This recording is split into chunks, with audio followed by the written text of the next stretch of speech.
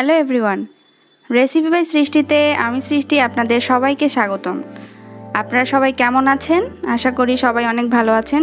প্রত্যেকবারের মতো আরেকটি মজাদার রেসিপি নিয়ে চলে আসলাম আপনাদের সাথে। আজকে আমি আপনাদের সাথে যেটা শেয়ার করব, সেটি হচ্ছে কবুতরের মাংস। কবুতরের মাংস আমরা অনেকেই খেয়ে থাকি। সে মাংস কীভাবে রান্না করতে হয় বা মাংস রান্না করার আগে কি কি প্রসেস সে সম্পূর্ণ টিপস আমি আজকে আপনাদের সাথে শেয়ার করব। তো চলুন দেখে নেই কীভাবে কবুতরের মাংস রান্না করতে হয়। আমি এখানে তিনটি পরিমাণ কবুতর কেটে রেখেছি। কবুতর কাটার কিছু টিপস আছে, কিছু নিয়ম আছে। সে সব আজকে আপনাদের সাথে আমি শেয়ার করব। কবুতর প্রথমে কেটে আপনারা অনেক আপনারা চাইলে সেদ্ধ করে নিয়ে পালকগুলো ছাড়িয়ে নিতে পারেন। আমি গরম জল দিয়ে সেদ্ধ করে এখানে পশমগুলো ছাড়িয়ে নিয়ে তারপরে একটুখানি পুড়িয়ে নিয়েছি। তাহলে ছোট ছোট যে লোম থাকে এখানে, এই যেহেতু চামড়া সহ আমরা কবুতরের মাংসটা নিয়ে থাকি, তাই সেই চামড়ার ভিতরে ছোট ছোট কিছু পশম থাকে। সেই পশমগুলোকে ওঠানো যায় না হাত দিয়ে, তখন একটুখানি একটুখানি পুড়িয়ে নিতে হয় আগুনে। তো আমি সেসব করে খুব সুন্দর করে ধুয়ে তারপরে কেটে রেখেছি। এখানে তিনটি পরিমাণ কবুতর আছে। আমি তার সাথে আমি এগুলো হচ্ছে নতুন আলু। নতুন আলুর জাস্ট খোসাটাকে একটু ছাড়িয়ে নিয়ে ওভাবেই রেখেছি। এখানে নতুন আলু আমি প্রায় দশ বারোটার মতো নিয়েছি। আর আমার লাগছে পেঁয়াজ বাটা, আদা বাটা, জিরা বাটা, দুটা গোটা রসুন আছে। এখানে আছে তেজপাতা আর কিছু গরম মশলা। আর রান্নার স্বাদ একটু বাড়ানোর জন্য, বা যারা ঝাল কম খান বা বেশি খান, যারা বেশি খায় তাদের জন্য দিচ্ছি আপনারা পাতে নিয়ে খেতে পারেন। প্লেটে নিয়ে আলাদা এক্সট্রা মরিচ নিয়ে খেতে পারেন, যার কারণে কাঁচা মরিচ নিয়েছি চারটা। আর তা, আর তাছাড়া আমি শুকনা মরিচের গুঁড়া ব্যবহার করব। তো চলুন দেখে ফেলি কীভাবে রান্না করতে হয় কবুতরের মাংস। কড়াই রেডি রান্নার জন্য এখন আমি রান্নার তেল দিয়ে দেব। যেহেতু মাংস রান্না করছি, তাই একটু পরিমাণ তেলটা একটু বেশি লাগে। তেলের মধ্যে আমি দিয়ে দেব প্রথমে তেজপাতা। এরপরে আমি তেলে ফোড়ন হিসেবে দেব। পাঁচ ফোড়ন, কিছু অল্প পরিমাণ।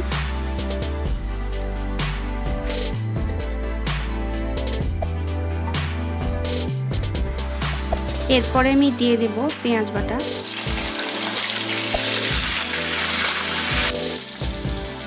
পেঁয়াজের সাথেই, একসাথেই আমি দিয়ে দেব মাংসগুলো। কবুতরের মাংস খুবই নরম মাংস, খুব তাড়াতাড়ি হয়ে যায়। তাই পেঁয়াজটা আমি পেঁয়াজের সাথেই, একসাথেই ভেজে নেব মাংসটা। এর সাথে আমি দিয়ে দেব রসুন দুটো আর আলুটা চাইলে ভাজতে পারেন, আমি ভাজবো না, কাঁচাই দিয়ে দিচ্ছি, একসঙ্গে ভেজে নেব।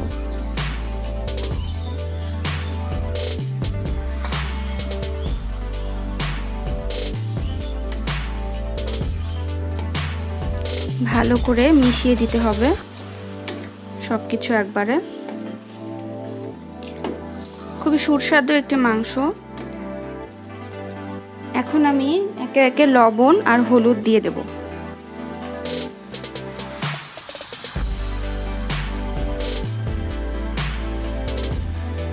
দিয়ে ভালো করে নাড়াচাড়া করব।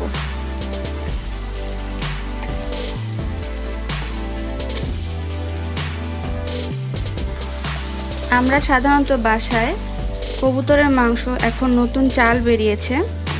নতুন আতপ চালের ভাত দিয়ে আতপ চালের ভাতটা ঝরঝরে করে রান্না করতে হবে। নতুন আতপ চালের ভাত দিয়ে কবুতরের মাংস খেতে কিন্তু অসাধারণ। আপনারা বাসায় করে দেখবেন।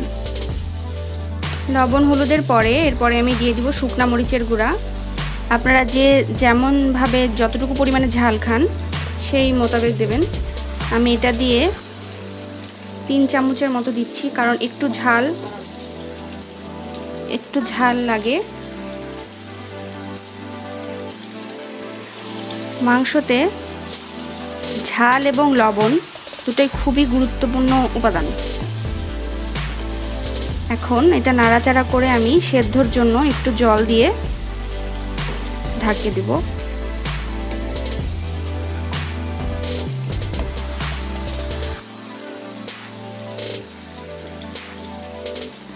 এখন আমি সেদ্ধর জন্য একটু কুসুম গরম জল দিয়ে দেব।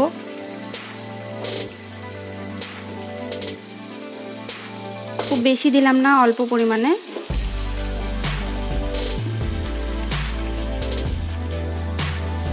কবুতরের মাংস, খুবই নরম মাংস। যার কারণে অল্প জল দিলাম আর দশ থেকে পনেরো মিনিটের মতো একটু ঢেকে রান্না করব। খুব তাড়াতাড়ি হয়ে যাবে।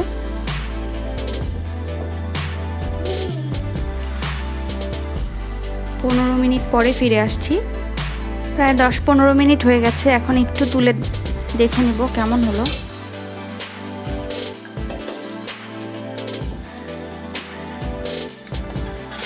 মোটামুটি জলটা শুকায় আসছে। আর একটু শুকিয়ে নেব। তারপরে আমি এটা মশলা দিয়ে কষে নেব। আর একটু ঢেকে দেব। ঢাকনা তুলে বাকি রান্নাটুকু করে ফেলব।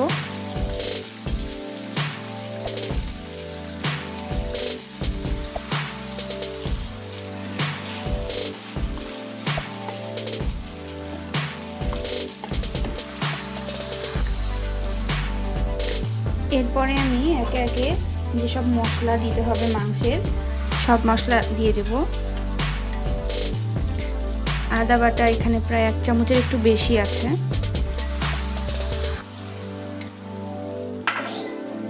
আর দিয়ে দেব জিরা বাটা।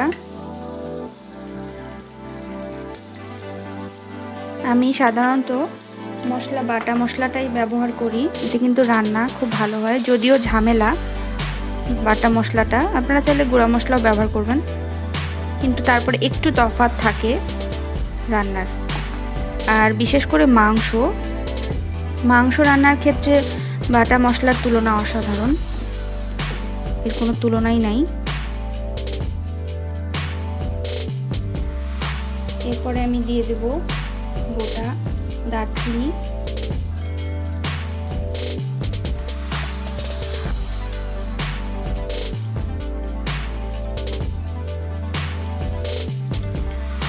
ছোট এলাচ। ছোট এলাচের মুখগুলো একটু করে ফেরে দিতে হবে।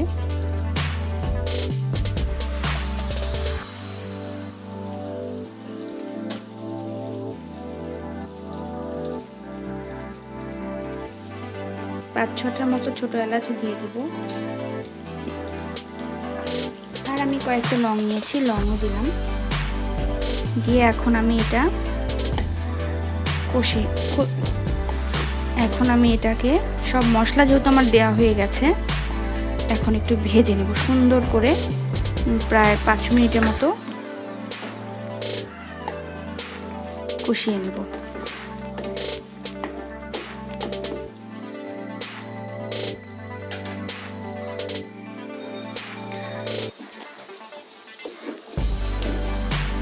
মাংস কষানো হয়ে গেছে। এরপরে আমি আরেকটু সেদ্ধর জন্য, আর যেহেতু কষিয়ে নিলাম, এখন একটু ঝোল তো রাখবই। সেজন্য আমি আবার একটু জল দিয়ে ঢেকে দেব।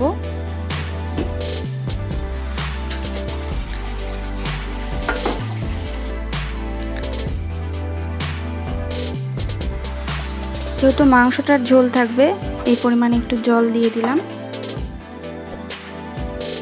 হয়ে গেছে। এরপরে আস্ত কাঁচা মরিচগুলো দিয়ে দেব। দিয়ে ঢেকে দিয়ে পাঁচ পাঁচ মিনিটের মতো, পাঁচ মিনিটের মতো আমি সেদ্ধ করব হালকা করে। যেহেতু এর আগে একবার আমি জল দিয়ে সেদ্ধ করে নিয়েছি, খুব বেশি সময় নেবে না। তারপরে নামিয়ে পরিবেশন করতে পারবেন। ভিউয়ার্স, পাঁচ মিনিটের মতো হয়ে গেছে, জল প্রায় শুকিয়ে আসছে। আমি ঢাকনার উপর দিয়ে দেখছি। তারপরে একটু দেখে নেব। হয়ে গেছে রান্না। এতটুকু আমি ঝোল রেখে দেব, কারণ ভাতের সাথে মেখে খেতে হবে।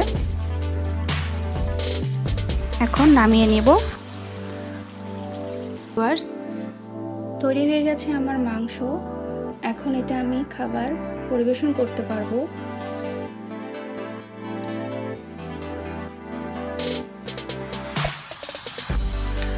ভাতের সাথে কবুতরের মাংস বা রুটির সাথেও খেতে পারেন। যেভাবেই খান না কেন, আপনাদের রেসিপিটি অসাধারণ হবে। দেখতেও কিন্তু অসাধারণ হয়েছে কবুতরের মাংসের সাথে সাদা ভাত। ভিডিওটি ভালো লাগলে একটি লাইক দেবেন, কমেন্ট করে আপনার মতামত জানাবেন। আপনারা যারা আমার চ্যানেলটি সাবস্ক্রাইব করে ফেলেছেন, তাদেরকে অসংখ্য অসংখ্য ধন্যবাদ। আর যারা এখনও সাবস্ক্রাইব করেননি, তারা প্লিজ আমার চ্যানেলটি অবশ্যই সাবস্ক্রাইব করে দিন এবং সাথে সাথে নোটিফিকেশন বেলটিতেও ক্লিক করে রাখুন। আমার প্রতিদিনকার রেসিপি সবার আগে পৌঁছে যাবে আপনার কাছে। তো আপনারা সবাই ভালো থাকুন, সুস্থ থাকুন। ততক্ষণ পর্যন্ত ধন্যবাদ। দেখা হবে আগামীতে আবার নতুন কোনো রেসিপি নিয়ে।